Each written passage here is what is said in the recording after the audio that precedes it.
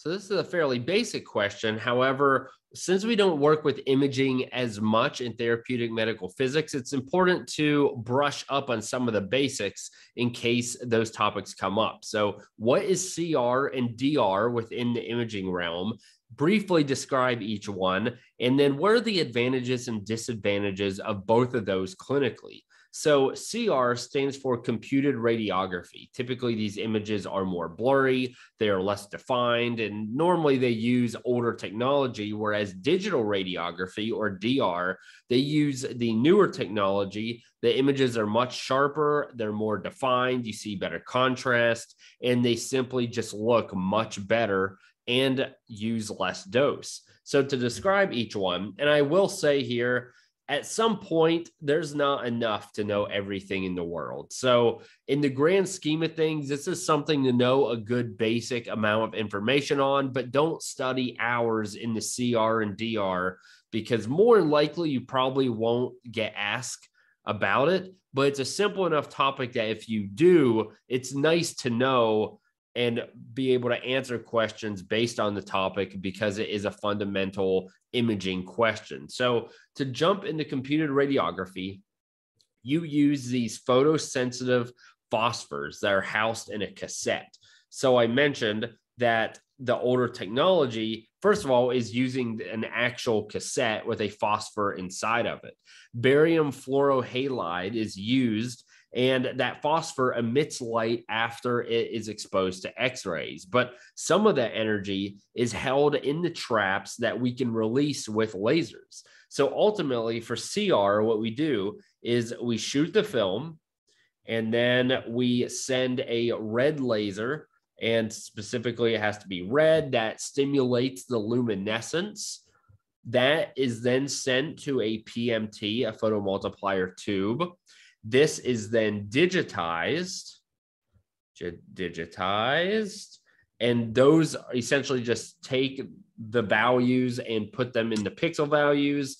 And then that CR plate is cleared and you can reuse that again. And that is cleared with white light. So now DR. DR uses X ray sensitive plates to directly capture data and immediately sends that data. So it's much more efficient, and that's one reason why it also requires less dose than CR. So it uses the indirect flat panel detectors. So essentially, amorphous silicon is the most common. It uses the amorphous silicon flat panel detectors this ultimately is going to convert X rays to light, X rays to light. And then that goes to the photodiode and then a digital image. So it takes away a lot of steps that CR does. And this typically is read by a thin film transistor.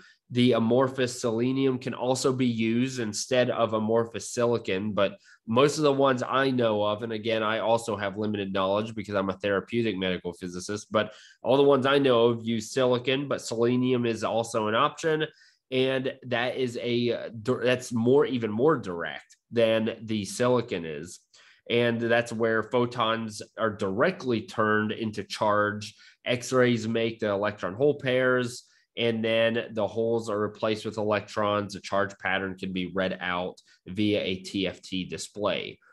Getting pretty hairy into the weeds here. And again, my knowledge is also limited. So I would remember these big, that was a horrible line, but that is what I would remember. In general, the steps that it takes to create one of those images, which one is CR, which one is DR, and which one looks better. So, now what are the advantages and disadvantages of this? So, for CR, the advantages are that it can be used for systems with film screen film screen cassette. So, really, there's no new equipment that's needed. So, depending on where you work, you may have older machines or you may work at a rural clinic that just doesn't have the equipment that can do DR. And that also allows you to do portable x rays, which is really nice because who knows what you're imaging. The how the patient can move and just what the circumstances are in needing to image a patient. Whereas DR, the advantages are that they are faster, much faster. They get in general better quality, as we've already discussed. So that's certainly something very important. And then it actually, I think I mentioned before, is less dose and it's two to three times less dose than CR. So a very significant amount. So those are the advantages. I've kind of already discussed what the disadvantages are. DR, you may have to buy new equipment. There is an immediate cost associated with that. CR, you have less quality and you have more dose. It's slower. So that is the big things I would know about CR and DR. Study those. If you have any questions, please let me know. And best of luck studying.